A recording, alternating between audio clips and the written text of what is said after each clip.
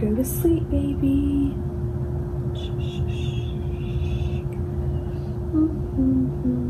Go to sleep, baby. Oh, hey, Cathedral Kids. It is Miss Rachel here, and I am just busy trying to get this baby to go to sleep. So, this baby is actually a clue as to what our story is going to be about today. Does anybody remember the story that we went over last week about a super special and the most important baby that was ever born? Who did we learn about last week? Baby Jesus! You got it! So I'm gonna set this baby down over here. Okay. Yes. So that is exactly right. So our story today is going to be all about baby Jesus. So we heard last week about baby Jesus being born, and today we will pick up right where we left off last week. So welcome to Cathedral Kids. If this is your first time joining us, and so glad that you're here. Thanks for being a part of our time together. And um, our our story today takes place in the Marty Machowski Gospel Story Bible. And so I'm going to ask you a couple questions, and um, this is totally up to you. You can talk about these answers with whoever you're watching the video with. Um, if you're by yourself, you can say the answers out loud, or you can just think about them or you don't have to do anything at all with these questions. Um, feel free if you want more time to pause the video and talk about the answers, and then I will get started with our story today. Um, so, do you remember the name of the people who were waiting in the temple to see baby Jesus when his mom and dad took him there to be dedicated to the Lord? So, this is something that you maybe have heard the story before and maybe not, but if you remember the names of the two people who were waiting in the temple um, to meet baby Jesus, who were they? It was a man and a woman. Do you remember their names? Well, if you said Simeon and Anna, that is exactly right. They had been waiting at the temple to meet baby Jesus, to be to see him to be dedicated um, to the Lord. Why do you think that they were waiting for Jesus? Why would Simeon and Anna be waiting for baby Jesus? So they were waiting for the Savior that God would bring to help his people. So remember, for a long, long time, they had been hearing about the Savior that God would bring to help his people, and they were finally ready and they were super excited to get to meet maybe Jesus. Then the last um, question is what was so special about Anna's life? What was so special about her life? So Anna actually stayed at the temple every single day and she stayed there praying and she stayed there worshiping and she stayed there fasting. And so she was doing that every single day as she was waiting on this baby Jesus to be born and as she waited on him um, to come to the temple because that signified that um, God had sent the Savior that he had promised. And she was waiting for Jesus. And so, just like Anna, we too are waiting for the second coming of Jesus. And I said that was my last question, but that is not my last question. I was just kidding. I have one more question. Does anyone know what Simeon did when he saw the baby Jesus? What did Simeon do? Do you remember that? So Simeon, he took him into his arms, he praised God, he blessed Jesus and his family, and he gave a prophetic word of encouragement. And all of those questions I just asked you, you are going to hear more in our story today. So if you want to follow along, feel free to do so. You do, do not have to. If you don't have this book at home, that's okay. Um, it is the Marty Machowski Gospel Story Bible. And just as a reminder, we have been um, in the New Testament of this Bible, and so we are going to pick up from where we left off last week. Last week, our story was about the birth of Jesus, and so our story today is called um, Jesus Presented in the Temple. This is story 81. This can be found on page 163 if you have this. And this story comes from Matthew 2 16 through 23 in Luke chapter 2, 22 through 52. And what do I always like to say before I get started with our Bible reading? God's word is, remember, it's one word, and I like to say it three times True, true, true. God's word is true, true, true. And I encourage you to find a comfortable spot wherever you are and get those listening ears turned on. Let's let's go ahead and do that together. Let's turn them up. One side, get the other side. Awesome. Are you ready to listen? Yeah, okay. So Jesus presented in the temple. Before Mary and Joseph fled to Egypt. Can you even see that picture? I just realized you probably can't see it too clearly. I'll make sure after I read to really hold it up so you can get a nice look. Before Mary and Joseph fled to Egypt, they took Jesus to the temple in Jerusalem to present him to the Lord. They wanted to offer a sacrifice for him as the firstborn son, just as the law of Moses told them, told them to. Long ago, God had told Moses that every firstborn son belonged to God and must be redeemed with a sacrifice. Many parents went to the temple to make the sacrifice, but something special happened when Mary and Joseph arrived at the temple. They were greeted by an old man named Simeon who loved God very much. The Holy Spirit had told Simeon that he would live to see the Messiah. He would not die until the Messiah had arrived.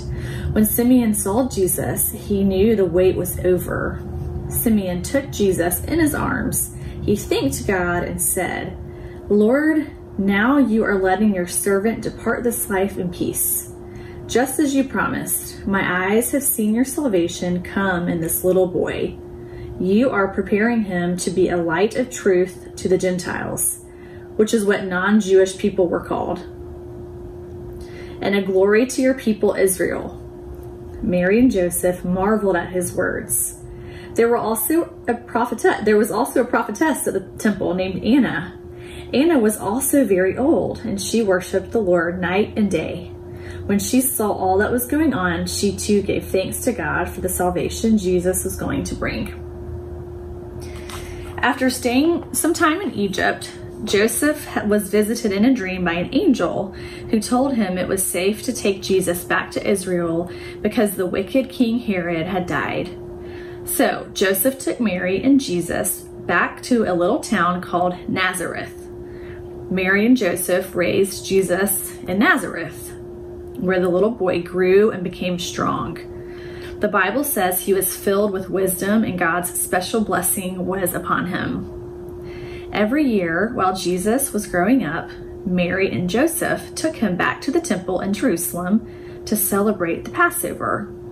On one of those trips, when Jesus was 12, he went to the temple and spoke with the teachers there. The prophets who listened were amazed at how much he understood and how, how wise his questions were. But Mary and Joseph left for home without Jesus.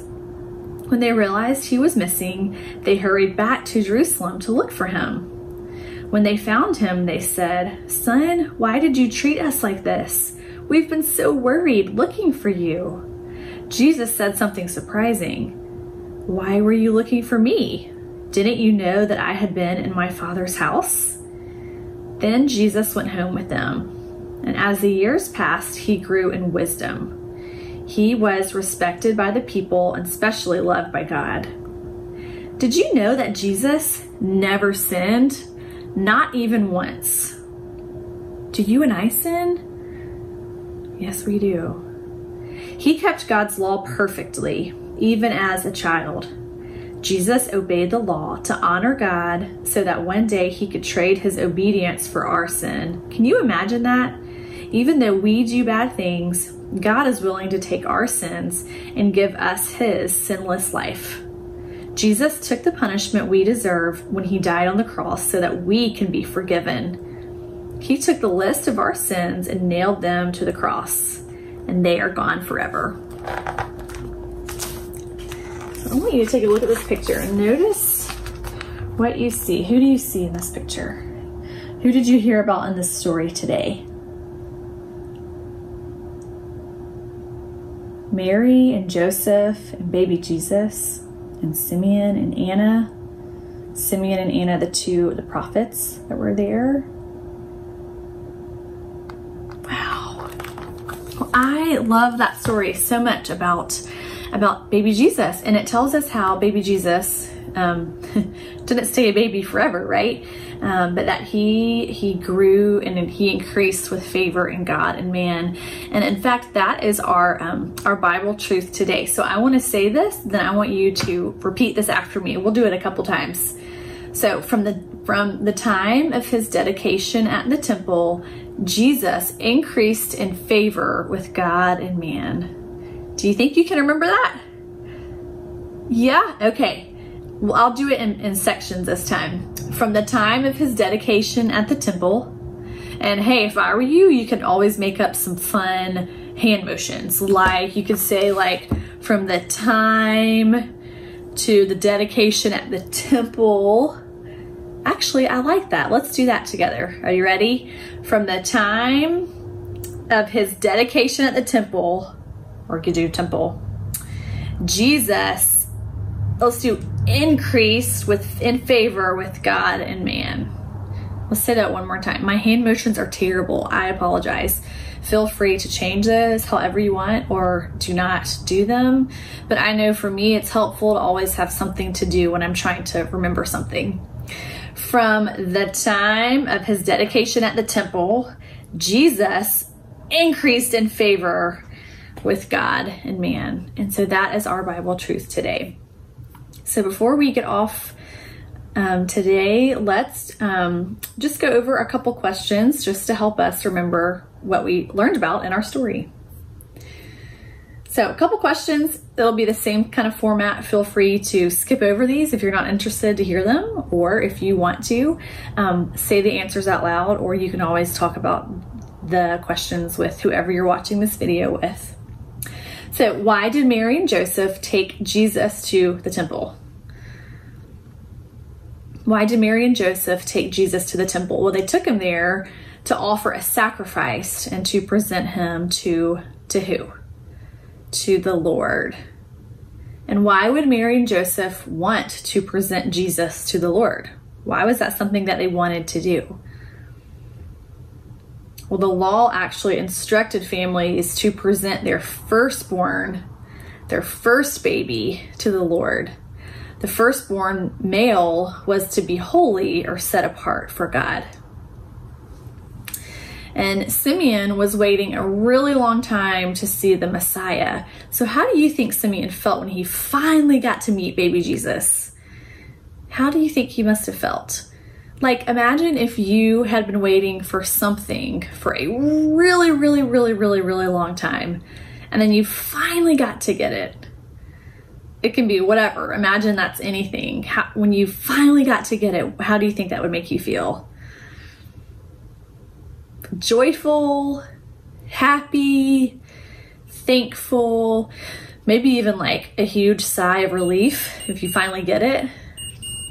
Sorry, that's my phone going off yeah, so I bet he was feeling just super, like maybe even overwhelmed with happiness and with gladness. How did Simeon know that Jesus was the Messiah? So the Spirit of God actually moved upon his heart to make him aware. And then, last question for today Simeon said in his prayer, My eyes have seen your salvation. How would baby Jesus be God's salvation. How exactly would that happen? So in Simeon's prayer we heard about today, he said, My eyes have seen your salvation. And remember, Simeon was a prophet. And so, and that kind of means that he was able to um, get glimpses of or get parts of things that had not happened yet, that but he knew would happen. So, how would baby Jesus be God's salvation? Well, Jesus would live a sinless life. We heard in our story today that Jesus never, ever, ever sinned, even as a as a as a boy. That he would then die on the cross to take our place for the punishment for our sins, and so that is exactly how um, baby Jesus would would be God's salvation. So thanks so much for listening to our story today. And I am just really excited that we have so many stories left to go over from our Gospel Story Bible from our New Testament. So lots of fun stories to come. Um, and the cool thing is, is that it starts out with the birth of baby Jesus, and we get to hear stories um, even from today as baby Jesus turns into a, a, a, young boy and then what happens in his life. So I am super excited to get to um, share in this fun journey with each of you. So wherever you are, let's um, bow our heads and say a prayer and then I will see you in a week. Let's pray. Dear God, thank you for today. Thank you for each one of these boys and girls who are here watching this Cathedral Kids video. Um, thank you so much for giving us your word, um, your scripture in our Bibles, and for teaching us about you and about your son Jesus. Thank you for sending Jesus um, to be our Savior, Lord, just like we heard about in this story today. Um, I ask that you would help each of us to be like Anna and that we would worship you, God, and that we would pray to you often. Um, and I ask that you would just, um, yeah, just help us to love you more and more. And I ask this in your name. Amen. Amen. All right. See you in a week.